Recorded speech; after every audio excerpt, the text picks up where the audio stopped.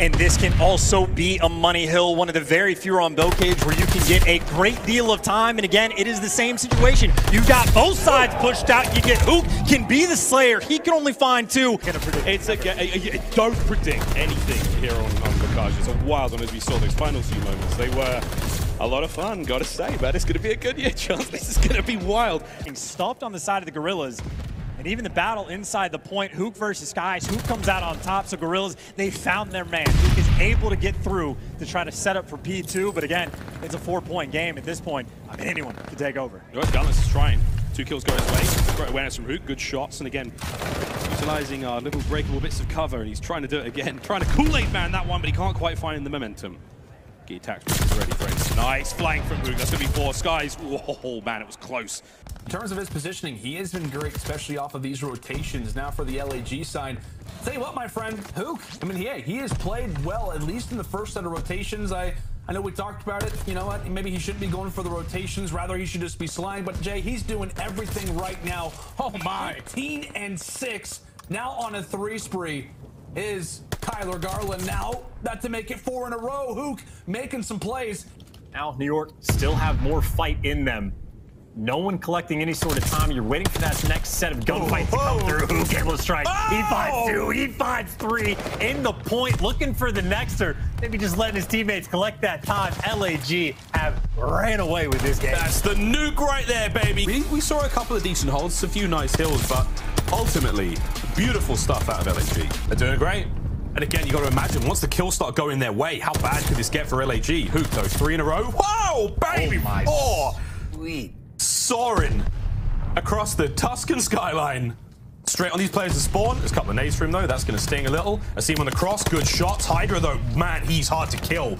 Gunless, though, with a pinch. Now, you've got column control for LAG. Crim flies into it. Huke's on a five. One more. Holding spawns for next. So LAG with preferred positioning, but Toronto still with that 30-point advantage, Jay. Yeah, that clock is definitely potentially going to come into play as LAG are putting a lot of pressure in towards the middle of the map. They still have the spawn swords back barn, but Ultra they able to find a couple kills, get onto this middle point. It's only going to be 30 seconds left. But if you're Ultra, you're not too worried about keeping these guys off the point. Take it two, now up to Huke and Assim. So now in the 4v2, Huke has to try to make a play. He does find one. Spots a second as well. Makes it a 2v2 immediately. Early miss snipe. It will be the SMG picking up and doing some of the work. Huke still in the midst of trying to hunt for some streaks. Now Cammy aware of his push. Great coordination there from Slasher and Huke together. Longtime teammates utilizing that teamwork. And they're going to have to continue to do it as that bomb is rotated over at B. And now it's on to the retake for Guerrillas. And CleanX does find the first blood. Oh! Trade is oh! going to be here from Huke. Great shots onto Bance on a six spree, potentially picking up a glide bomb as well. But CleanX finds the second. Now Huke left in a 1v2, makes it a 1v1. Yeah, at the very least, he earned some streaks. Oof. So, hey, all things considered, Toronto Ultra, they secured the round, but Huke, my goodness, we're just three rounds, four rounds in, and he's already got both streaks. Pushing forward over into A. Huke off the gates. 29 and 14. We asked for the guy to have an answer after the series that he had last week, I mean, last week, and he has so far answered the call. 141 to 228. Now it's time to set up for this P5 hardpoint, and they're already here as Huke does find another two in the feed. Huke looking for a spree of his own. Oh my goodness, the quickest of reactions. Never stood a chance. Nasty will never be the same. Can they make the most of it here? Well, this is not a big gap. It is not a big gap. Bearing in mind, I felt like LAG have had control all the way through. Rokkr have made a comeback already. Looking for this one. Huke, though, on the stairs, managed to get one kill. Now going to go challenge the hill as well. See, Stab, he oh! guns him down. Just flying about like a lunatic. This is Huke unleashed. He does not want to be in any one position. He's just finding everybody. Major Maniac eventually managing to take him down. The problem for Rokkr He's trying to find him. I don't think either have seen each other. And now it's just like, who might get fortunate? It'll be who. There's going to be the opening. But you see the close spawn still going to come in. That number seven and attached is going to pop. Eight as well. Standing still there. You're going to have to find more kills if you are Guerrillas. And in the point, it's Rokkr getting close to 15 points to close this out. Huke hit his shots. He's able to clear them out of the point, and that's a big one. He's played his life. He's gotten them out of the time, but finally he's going to drop. Yeah, I mean, he's made the plays that he's has to. Now, on a defensive round, it's just, yeah, that extra utility you would have. But so far, you, you will take this now. They need that second take towards day. But Huke hitting some nice shots. Yeah. Much better than what we saw on that map number two. Yeah, yeah. As much as I was giving him a hard time, he, he is one of the more raw and natural, naturally talented players you're ever going to see. As you're watching a bit of flash and magic right now, is back to work at 13 and 11. Now close to getting this time extension. There's the second bit of work. Is the help there as all the fights are going around green. His teammates dropping all over the place. Pivot right now at six engagements uh, per minute. So that basically means that he is getting in an engagement every 10 seconds. This guy loves to get in the mix, so we'll see if the Guerrillas can try and handle that as Huke on the other end now finds himself on four, pushing out the spawns and then some. For the Mutineers, despite that fast-paced play, it doesn't mean anything.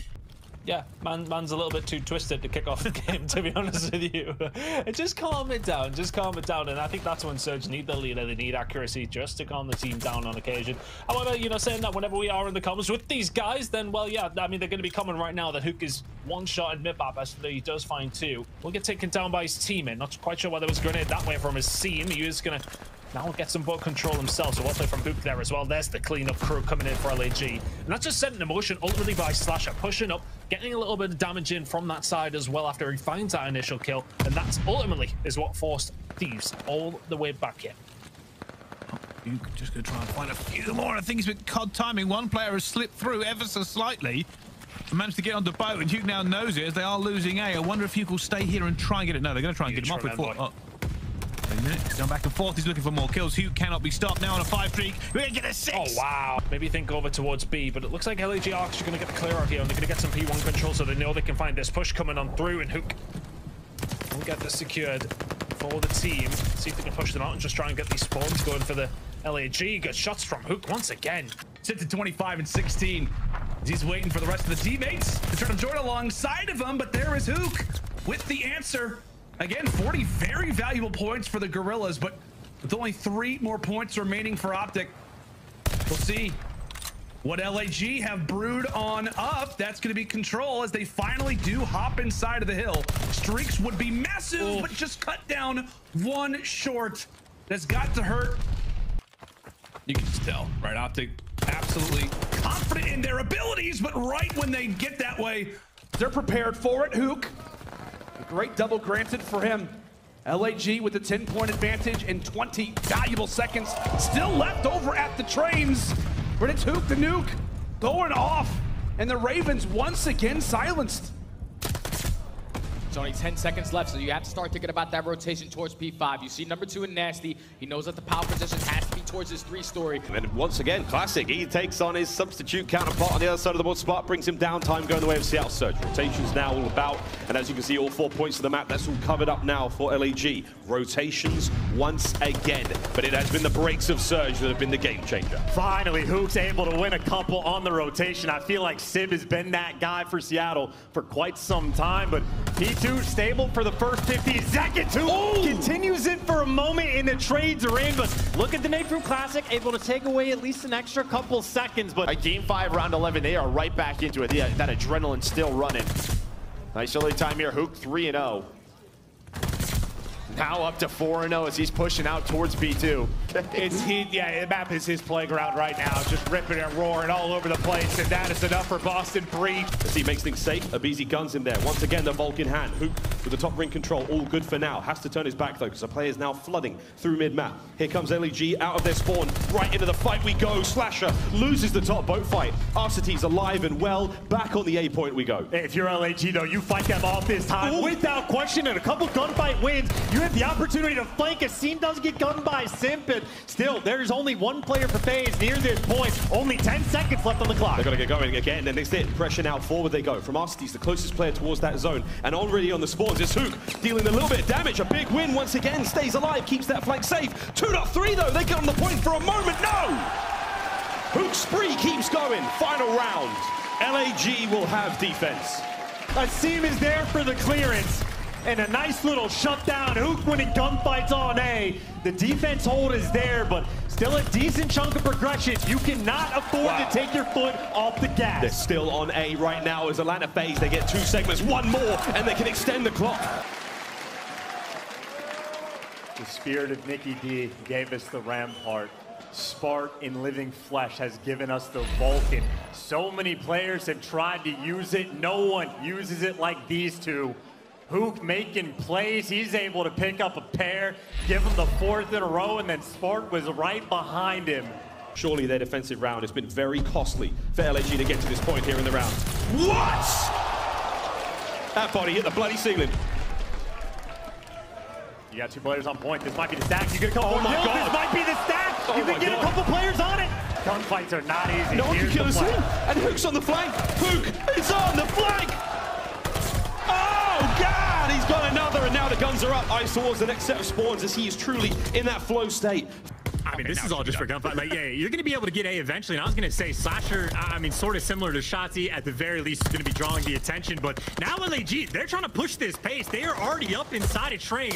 They're able to get a couple kills. You deal with Dashy on the flank, and you've taken care of everyone. Now you can try to stack this point.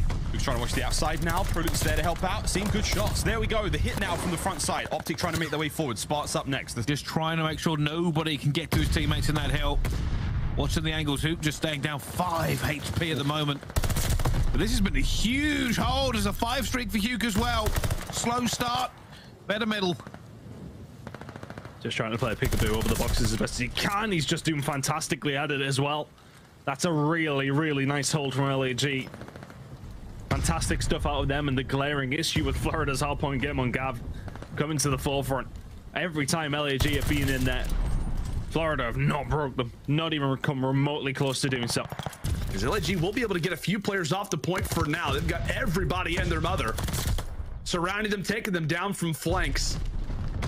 30 seconds left. This is dire moments for the Guerrillas. Yes, there is. But you see what the positioning of once again what Paris Legion are doing. They find that first spot. They're slowly going to work their way up. Now they have a man advantage, even with John getting taken down in a three v two.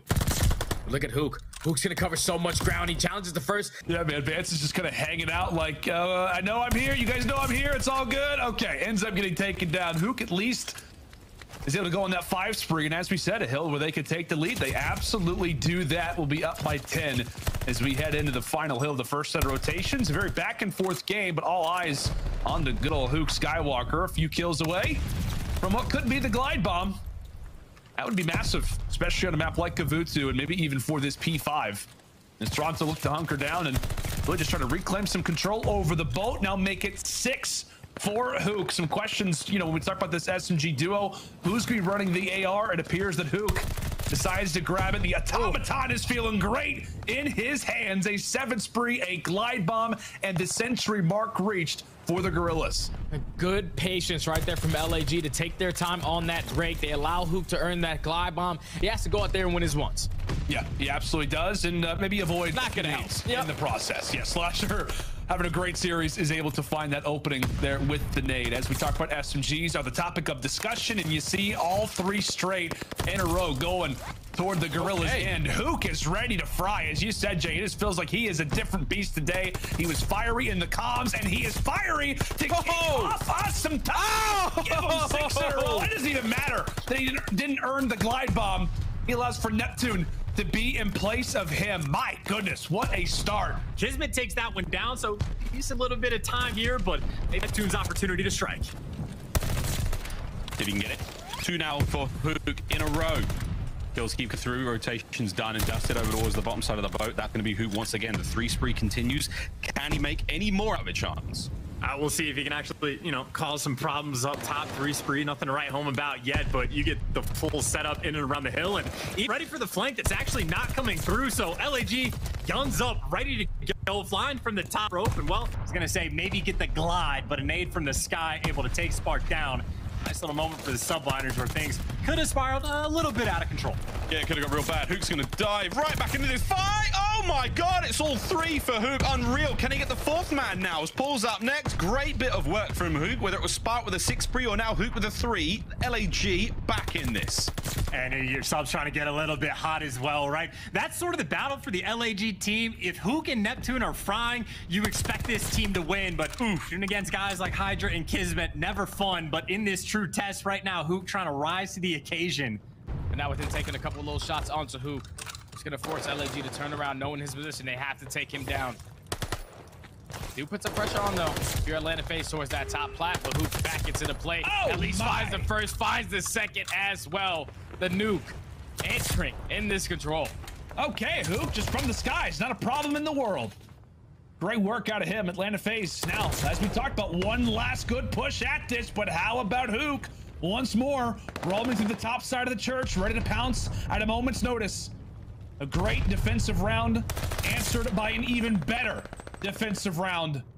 Guerrillas locking things up. Spart ever present toward the backside of the tank, and he is setting his teammate up for a little bit of success. It will be a oh. back-to-back assists. Huke, I believe, did earn the glide bomb before touching grass. LAG answering back. That was like a mirror defense for both of these squads. Like outslay by 12 kills. You only allowed him to get three segments done at a point. Favoring Atlanta FaZe here off the rip. They've got the preferred spawns, but LAG group on up. They find the kills that they have to, and now they've got an opportunity for some control. That's a great break from LAG to not allow Atlanta FaZe to walk away with all this time at P1.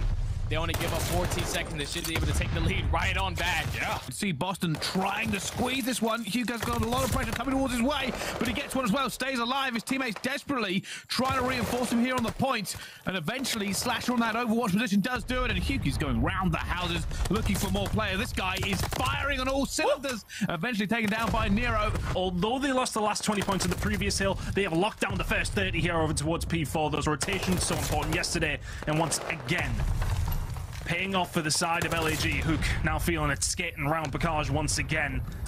And Boston are really struggling to find a foothold here. They're getting one or two players through at a time, but it's not enough to break what good of a hold LAG have had on here. Huke does some delicate parkour to get himself into a new location to try to attack this hard point. Gizmo will be his target.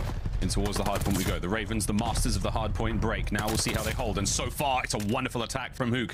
The attack vector from top green is still flowing, and he's on a three spree right now, looking towards the point. I mean, Huke's over here Whoa. shooting like he's playing against Atlanta FaZe. Maybe they got the gamer tags mixed up because that is where he truly fries.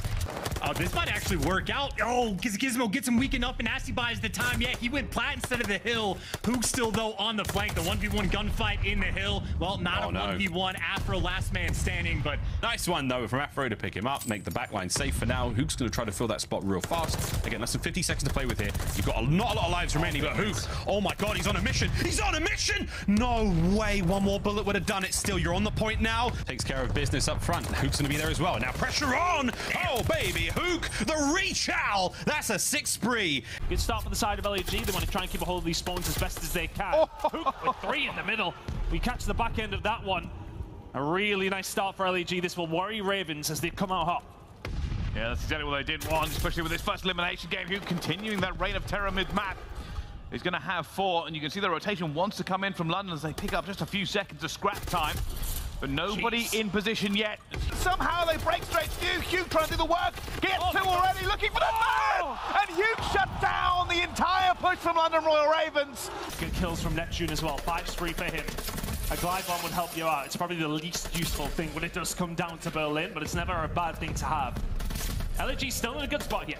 But can close out this defense. They were so Oh. close to doing so in that attacking round previously. They have a chance. Force spree for Huke as well. Yeah, he's punching them. He's trying to keep them on the back foot. Huge streaks all over the place for LAG. They really do not want to give London even a single opportunity to get through this. Huke just pushing all the way through and he keeps finding it. Six now for Huke.